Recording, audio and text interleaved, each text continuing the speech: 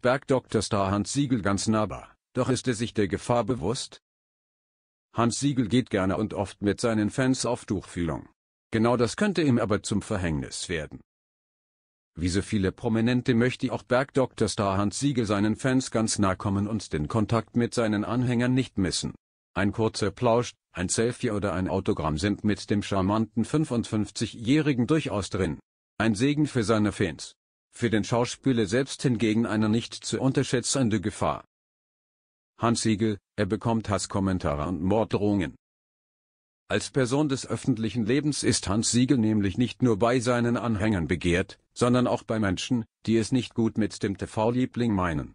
Neid über seine Karriere, aber auch politische Äußerungen sind nur zwei der Gründe, warum nicht jeder Hans Siegel wohlgesonnen ist. In der Vergangenheit hatte der 55-Jährige bereits gestanden, ich bekomme viele Hasskommentare und sogar Morddrohungen, weil ich meine Meinung offen teile. Bislang blieb es, zum Glück, nur bei Worten und Drohungen. Nicht auszuschließen aber, dass eines Tages auch Daten folgen. Mit seiner Nahbarkeit macht sich der Schauspieler besonders angreifbar, berichtet Woche heute. Unter seine Fans könnte sich bei jedem Bad in der Menge auch ein Angreifer mischen. Jedes Gespräch mit einem netten Gegenüber könnte plötzlich eine ganz andere, schreckliche Wendung nehmen.